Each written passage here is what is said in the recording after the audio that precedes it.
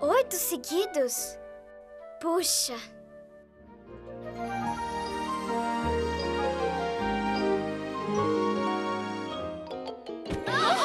Sinto muito, Miss Mimi. Te peguei! Belo salvamento, Marco e Alice. Desculpe, Miss Mimi. Estava treinando meu chanês e não vi você. Eu vim colocar um aviso.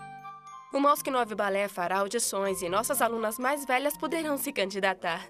Audições para o famoso Mosque 9 Balé? Posso tentar também? Eu acho que ainda não está preparada. As bailarinas dançam com ponta. Quer dizer assim, bem na pontinha dos dedões? Com sapatilhas bem especiais. Sapatilha de dedão? Bom, podemos chamar de sapatilhas de ponta. Uau! São iguais às sapatilhas que a Miss Lily usou no balé Gisele! Que esquisito! O que houve com o dedão? Esta parte longa do dedão é chamada de caixa. Uma caixa? Numa sapatilha? Mas não se pode apertá-la. E é reto na ponta! Essa é a plataforma, para o bailarino poder se equilibrar. E parecer que está flutuando.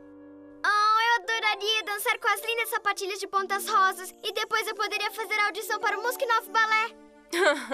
Angelina, ainda faltam alguns anos para você crescer. Tenha paciência. Mas Agora temos que ir. O Marco vai mostrar pra gente um instrumento novo.